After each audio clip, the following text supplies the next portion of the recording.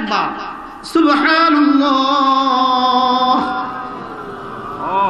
এই শব্দ আর পেয়ে গেছেন উহুদ পাহাড় বরাবর স্বর্ণ। আচ্ছা এবার খুশিটা কেমন? কি? দশ হাজার টাকা দশ লাখ টাকা বিক্রি হলে খুশি কেমন? আচ্ছা দশ হাজার টাকা যদি দশ কোটি টাকা বিক্রি হতো খুশি কেমন? এবার অনেকেও কয় না কেউ এরকম বিপদে? কেমন? এবার একবার সুহার আল্লাহ যদি উহুদের চেয়ে ভারী হয় তো কেমন? আচ্ছা এটা কেমনে বুঝব?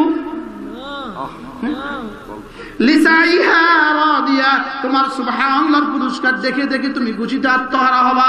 তোমার আলহামদুলিল্লাহর পুরস্কার দেখে দেখে খুশিতে আত্মহারা হবা।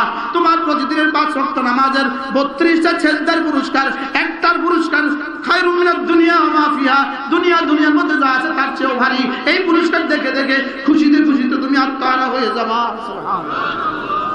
আল্লাহ দুই শব্দ দিয়া পুরো কোরআনে করিম বুঝিয়ে দিয়েছেন জীবনে যত কিছু দরকার ইমান আমলের সাথে ইমান আমলের উপরে যত পুরস্কার দিবেন সবচেয়ে বড় পুরস্কার রব্বে করিম বলেন র দিয়া সুবহানাল্লাহ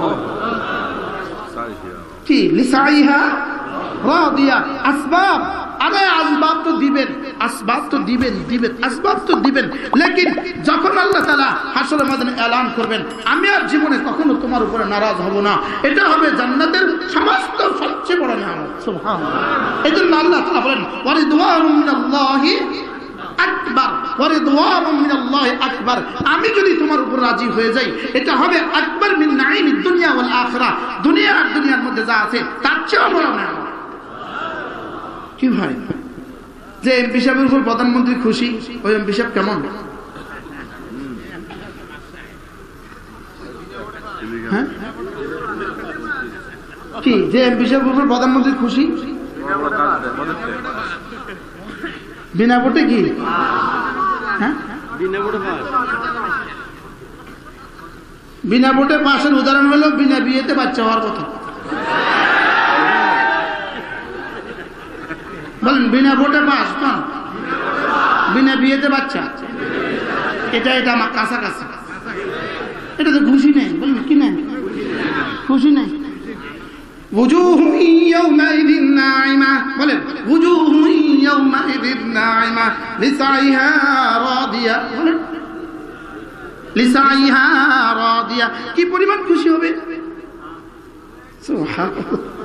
না না, এটা বোঝাবার কোনো শব্দ নাই। এই শব্দ দিয়ে এটা বোঝানো যাবে না। এই শব্দ বোঝাবার কোনো ভাষা দুনিয়াতে নাই। এই শব্দ দিয়ে বোঝাবার ভাষা দুনিয়াতে নাই। এটা শুধু তখনই বুঝবেন যখন হাসরের ময়দানে দেখা হবে। বলেন না, ইনশাআল্লাহ। আর আজকের এই মাহফিলের কথা মনে হবে। আবার এই মসজিদের কথা কি হবে? মনে হবে। আল্লাহ তারা নিজেই বলেন তারিফু নাহা তুমি দেখে দেখে আবার মনে হবে, তোমার মনে পড়বে, ও মদন মোহন হাই স্কুল মাঠে, আমি এই শব্দ শুনছিলাম। হুবাহু দেখে মনে হবে মনে হবে, মনে পড়বে হ্যাঁ আল্লাহ বলে। মনে পড়বে যে হ্যাঁ ঠিক আছে। হুজুর, আর দূর থেকে দেখবেন হুজুর, ওকে। হুজুর যা বলছেন ওকে, ঠিক আছে, সব ঠিক আছে। وجدنا ما وعدتنا স্লোগান তুলবেন স্লোগান স্লোগান وجدنا ما وعدتنا وجدنا ما وعدتنا যা যা বলেছেন সব পেয়ে গেছি لا إله إلا الله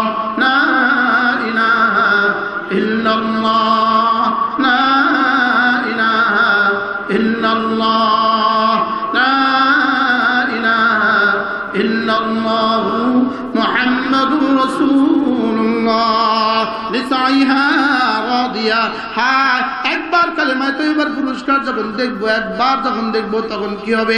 তখন বেঈমান কি বলবে? হ্যাঁ একবার দিয়ে তুমি এটা পেয়ে গেলে আর একবার না পড়ে আমি এরকম হয়ে গেলাম। হ্যাঁ কি পরিমাণ আফসোস সেদিন হবে। আর ইনশাআল্লাহ ইমান বলাদের কি পরিমাণ খুশি সেদিন হবে?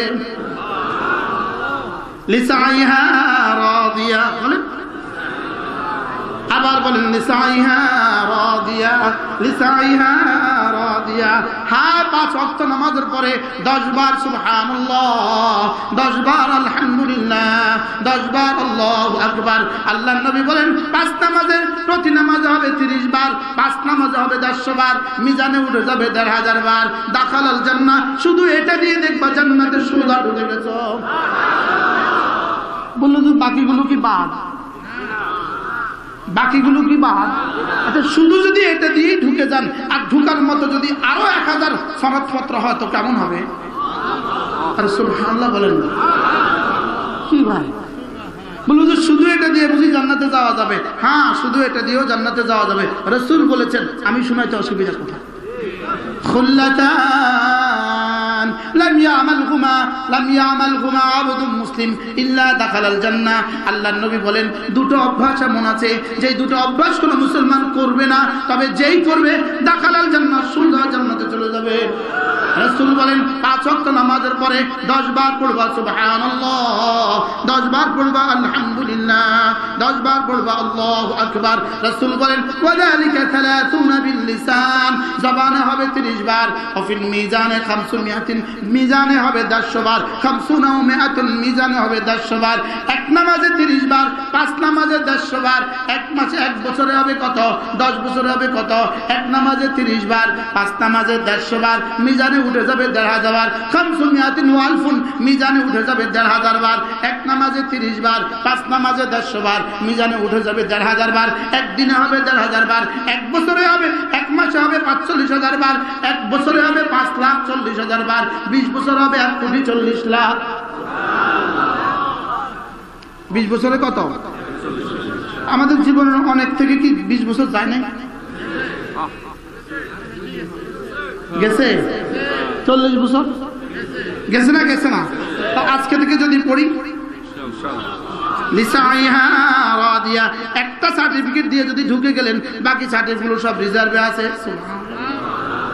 বাকি সার্টিফিকেটগুলো কি? এবার কেমন হবে? আর যে কোনো রকমের টানি খিচি পাশ করে টানি খিচি। একটাই মিলে না কোনো রকমের টানি খিচি। যাইবো আর কি মেনে কি মনে কষ্ট? আবার ডর কতক্ষণ আবার এটা ক্যান্সেল হয়ে যায়? কতক্ষণ আবার এটা কি হয়ে যায় বলেন? তাইলে দুটো সবক শিখলাম রাসূল খুল্লাতান। একটা হলো পাঁচ ওয়াক্ত নামাজের পরে 10 বার সুবহানাল্লাহ 10 বার আলহামদুলিল্লাহ 10 বার আল্লাহু আকবার। আরেকটা হলো ঘুমাবার সময় 33 বার সুবহানাল্লাহ 33 বার আলহামদুলিল্লাহ 34 বার আল্লাহু আকবার। যালিকা মিআতুন এটা হয়ে গেল 100 বার। আল্লাহর নবী বলেন, মিজানে উঠে গেল 1000 বার। কারণ ফেরেস্তাকে রব্বে করিম নয়, দশের নিচে লেখার যোগ্যতাই দেন নাই। ফেরেস্তাকে রব্বে করিম দশের নিচে লেখার যোগ্যতাই দেন নাই। দশের নিচে লিখার কি দেন নাই? ওরে নয়, লিখতে শিখান নাই শিখান নাই। ও দশ থেকে শুরু। দশ থেকে কি? দশ থেকে শুরু, লিখতে লিখতে দশ থেকে শুরু। এক লাভে সত্তর।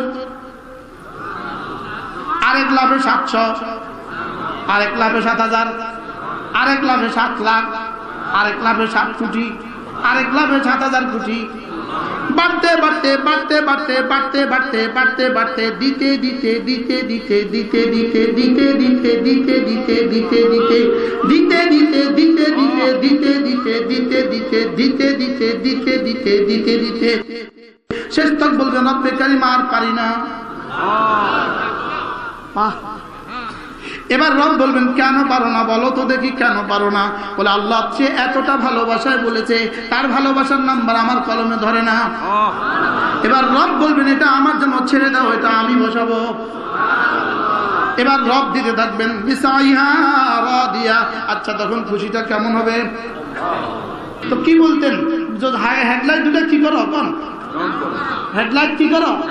হেডলাইট ডাউন করো। কি লেগে করলাম কথাটা? তাইলে আমি আমার অফার অফার চলে, অফার অফার। কিসের অফার? দশ হাজার রাকাত নফলের পুরস্কারের অফার। বলেন কি? কত রাকাত?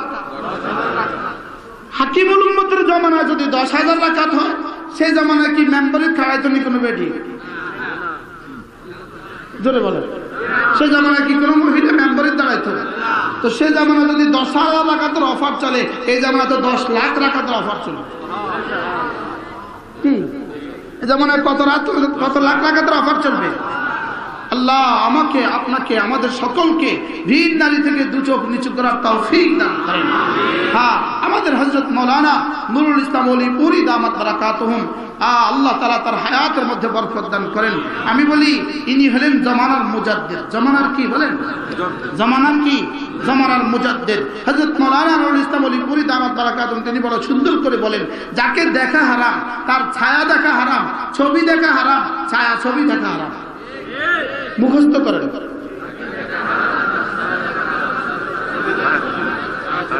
কটা দেখা হারাম? চারটা। যাকে দেখা হারাম, বলেন।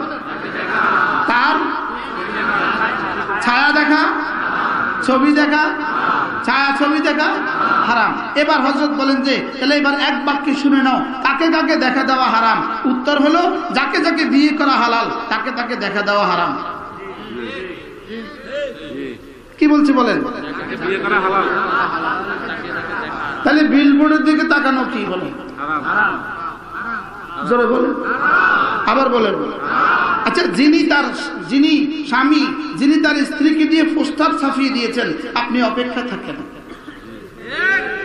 আপনি কি থাকেন বলেন? আপনি অপেক্ষা থাকেন। আপনার স্বামীকে দিয়ে, আপনি আর স্ত্রীকে দিয়ে আপনি পোস্টার ছাপিয়েছেন, আপনি অপেক্ষা থাকেন। আপনার স্ত্রীকে তার সাঙ্গভঙ্গ দিয়ে, তার বান্ধবীদেরকে দিয়ে মিছিলের সামনে দাঁড়া করে দিয়েছেন, আপনি অপেক্ষায় থাকেন। আপনি কি থাকেন বলেন? আপনি অপেক্ষায় থাকেন। বলেন। কি? নাসিবা। বলেন, আমিলাতুন নাসিবা, যারা স্ত্রীদেরকে পোস্টার লাগিয়ে দিয়েছেন, আমিলাতুন নাসিবা বিলবুড়ে যেই নারীগুলো ঝুলে আছো, আমিলাতুন নাসিবা, যারা নারীদের পেছনে ছুটছো, আমিলাতুন নাসিবা। বলেন, আমিলাতুন নাসিবা। করে, আমি তো মাইক কাহাটা আমি তো মাইক, আমি তো কি? আমি মাইক, আমি অন্য কিছু না, আমি এখানে যা আছে তা আপনাদেরকে শুনিয়ে দিচ্ছি। দোষ হলে তার হবে, আমার হবে না। আরে বুঝেন নাই কথা। দোষ হলে কার হবে বলেন? দোষ হলে মহাজ আল্লাহ আল্লাহ আল্লাহ রাসুলের হবে, আমার কি হবে? কি? আমার কেন হবে? আমি তো এখানে যা আছে তা শুনিয়ে শুনছি এখানে যা আছে তা কি? এজন্য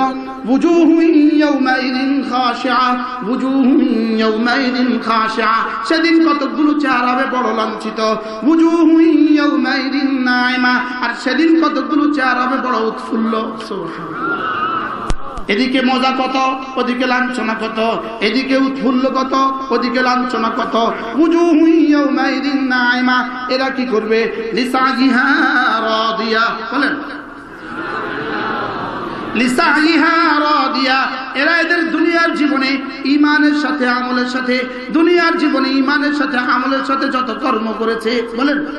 ইমানের সাথে। জুতা বানানেওয়ালা ইমানের সাথে, নামাজের সাথে যদি জুতা বানায়। রিক্সা হাওয়া দেনেওয়ালা ইমানের সাথে, নামাজের সাথে যদি হাওয়া দেয়। যদি কি দেয়, বলেন। এদের চেহারা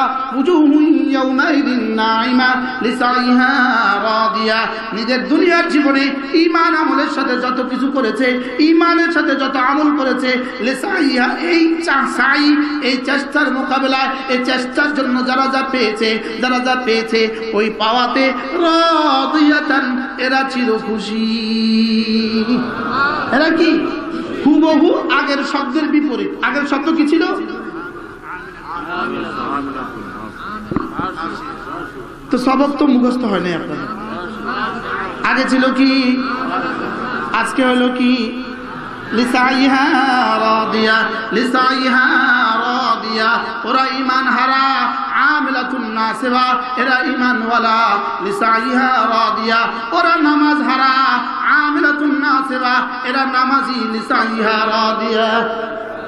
এরা ওরা কালিমা ছাড়া, এরা কালিমাওয়ালা। না ইলাহা ইল্লাল্লাহ না ইলাহা ইল্লাল্লাহ। লিসাইহা রাদিয়া। একবার কালিমা কালেমার মোকাবিলা যখন দেখবে দশ দুনিয়া বরাবর জান্নাত, কি পরিমাণ রাজিয়া? একটা ছেজদার মোকাবিলা যখন দেখবে, খাইরুম মিনাদ দুনিয়া ওয়া মা ফিহা দুনিয়া দুনিয়ার মধ্যে যা আছে তার চেয়েও দামি, কি পরিমাণ রাদিয়া কি আচ্ছা শুধু যদি আজকে বাড়িতে গিয়ে শুনেন, আপনার জন্য আমেরিকার একটা বিষয় আসছে। আপনার খুশিটা কেমন হবে? হ্যাঁ? শুধু আমেরিকার বিষয়টা হয়ে গেছে। আচ্ছা খুশিটা কেমন? নোয়াখালীর মানুষ মনে বেশি খুশি হবেন না। কি পরিমাণ খুশি হবে? হ্যাঁ? আমি মাঝে মাঝে বলি আচ্ছা আগামী মাসের পনেরো তারিখে আপনার স্ত্রীর ডেলিভারি, বাচ্চা হবে। আপনার স্ত্রীর কি? ঘরে বাচ্চা হবে। আর আগামী মাসের চোদ্দ তারিখে আপনার আমেরিকার ফ্লাইট এই মুহূর্তে আপনার বড় ভাই আপনাকে কি বলবে? ভাই, যা ভাই, যা, আমরা আছি। কোনো সমস্যা নাই, ভাই সামু। বলেন বলেন, কথা বলেন। কোনো সমস্যা নাই, ভাই কি করব ভাই, দেখব, কোনো সমস্যা নাই। আচ্ছা এবার মা কি বলবে? ফুদ যা, আল্লাহ ভরসা, মা আসি বলবে, কি বলবে না বলবে? এবার শাশুড়ি কি বলবে? জামায় যান আল্লাহ ভরসা। মা আসি। বলবে, কি বলবে না?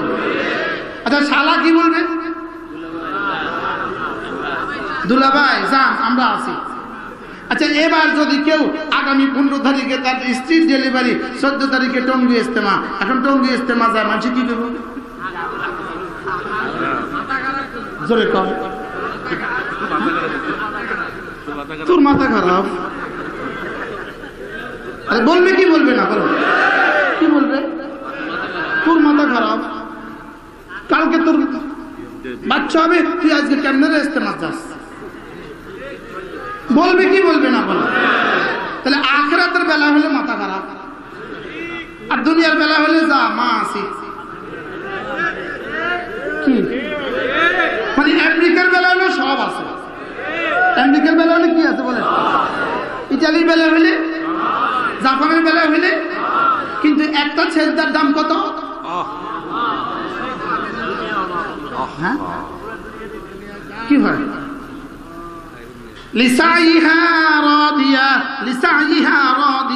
তুমি জান্নাতে হাসরের ময়দানে গিয়ে দেখবা, এক ছেদার মোকাবেলা যা পেয়ে গেছো, এর জন্য তুমি হয়ে যাবা রাদিয়া। এর জন্য কি? এজন্য হয়ে যাবা রাজিয়া। আর একটা দিন ফজর নামাজ ছেড়ে দেওয়ার কারণে যা তুমি হারিয়েছো, এজন্য ময়দানে মাসরে হয়ে যাবা তুমি গাছিয়া হয়ে যাবা কি বলেন? আচ্ছা কি চিত্রটা রব্বে করিম এখানে অঙ্কন করেছেন বলেন? কি চিত্র? কি ছবি আঁকছেন রব এই চূড়ার মধ্যে? হ্যাঁ? কি ছবি আঁকছেন? একদিকে কি চিত্র তুলে ধরেছেন, আরেকদিকে কি চিত্র তুলে ধরেছেন? এই জন্যই হজরত সৈয়দ কুতুব রহমাউল্লাহ তালা তিনি এত সুন্দর করে এই কথাটাকে উপস্থাপন করলেন। তিনি বললেন, উদ্দেশ্যটা কি? এটা বলে আর এটা বলে উদ্দেশ্যটা কি? তিনি বলেন যে কাউকে বোঝানো যাবে না। রব্বে করিম জান্নাতের মর্যাদা আর জান্নাতের সৌন্দর্য পৃথিবীর কাউকে বোঝানোই যাবে না। লেকিন রব্বে করিম এই শব্দগুলো বলে বলে শুধুই মানব মানব আকলে, মানব বিবেকের মধ্যে শুধুই তোমার যন্ত্রণার যন্ত্রণার সর্বোচ্চ কল্পনা করার জন্য এগুলো দিয়েছে। আর এগুলো কেন দিয়েছে? বলে জান্নাতের সর্বোচ্চ নেয়ামতের কল্পনা করার জন্য রব্বে করিম এই ছবি এঁকে দিয়েছে। শুধু কি? একদিকে জাহান্নামীদেরকে জাহান্নামের কল্পনার জন্য বলেছে, জাহান্নামের কল্পনা করো। বলে, তুমি কল্পনা করে জাহান্নামের কুল কিনারা পাবা না। লেকিন যন্ত্রণার কল্পনার শেষ সীমা যেখানে, এটা তুমি একটু কল্পনা করে এই আয়াতে কালিমাগুলো কল্পনা করো। আর অন্যদিকে তুমি নিয়ামত প্রাপ্তির আনন্দের আর আনন্দের আর সৌন্দর্যের সর্বোচ্চটা কল্পনা করে তুমি এই আয়াতগুলোর কল্পনা করো। কি হয় তাইলে শুধু আমেরিকার একটা ভিসা পাইলে খুশি কেমন? শুধু খুশিটা কেমন? এবার আরেকজনের যদি ফাঁসির রায় হয়, তো ব্যর্থটা কেমন? চিন্তা কেমন? কি হয়? এখানে এদিকে চিন্তাটা কেমন? কিন্তু এটা তো আমাদের কিছুটা বুঝে আছে। এটা হেসি।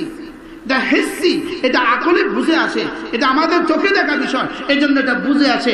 লেকিন জান্নাত হেসছি না, জাহান্নাম হেসছি না, এটা দুনিয়াতে আকলি দুনিয়াতে আকলি না, এটা শুধুই ইয়াকিনি শুধু ইমান ও ইয়াকিনের বিষয়। কি বিষয় বলেন? এই জন্য জাহান্নাম হেসি নয়। হেসি মানে কি? অনুভূতিতে আসে। অনুভূতিতে আছে। পঞ্চ ইন্দ্রিয় দ্বারা জাহান্নাম ধারণ করার কোনো সুযোগ নেই। পঞ্চ ইন্দ্রিয় দ্বারা জান্নাত বোঝার কোনো কি নাই বলেন? সুযোগ নাই। এই জন্য আল্লাহ তালা এই আয়াতে কারিমাগুলো আমাদেরকে কেন দিয়েছেন? শুধুই তুমি জান্নাতের চিত্র একটুখানি কল্পনা করো। একটুখানি কি করো? সেদিন কোটি কোটি চেহারা হবে। নাইমা নামতে নামতে ভরা আনন্দ আনন্দে ভরা কিছু চেহারা হবে। লিসাইহা রাদিয়া। এরা এদের চেষ্টাগুলোকে, এরা এদের আমলগুলোর পুরস্কার দেখে দেখে রাদিয়া তুমি খুশি হয়ে যাবে। রাদিয়াতুল মানে কি বলেন? এজন্য আল্লাহ তালা বলেন, জান্নাতীদের জান্নাতীদের দুটো হালত হবে। একদিকে এরা র দিয়া আরেকদিকে মার দিয়া একদিকে র দিয়া আরেকদিকে মার দিয়া একদিকে আল্লাহ তালা বলবেন, এই, তুমি খুশি তো? বলবে, খুশি। আরেকদিকে বান্দা বলবেন, আল্লাহ, আপনি খুশি তো? তা হ্যাঁ আমিও খুশি। কি ভাই? রাদিয়া মানে বান্দা খুশি, বলেন। মার দিয়া মানে আল্লাহ খুশি। মার দিয়া মানে কি? এই শব্দ দুটো সামনে সামনের সুরাতে ইনশাআল্লাহ আসবে। এই শব্দ দুটো। এখানে হলো আচ্ছা আচ্ছা যেমন ধরেন, আপনি এই বাজারে একটা দোকান দিছেন। আপনি এই বাজারে একটা দোকান দিছেন, একটা মাল কিনছেন দশ হাজার টাকা। আচ্ছা এই মালটা যদি দশ লাখ টাকা বিক্রি হয়? কেমন খুশি? কে কে খুশি? কে কে খুশি হবে? শুধু আপনি খুশি হবে না বিবিও খুশি হবে। হ্যাঁ? সমস্ত আত্মীয় স্বজন? আচ্ছা কি পরিমাণ খুশি? এবার যেমন ধরেন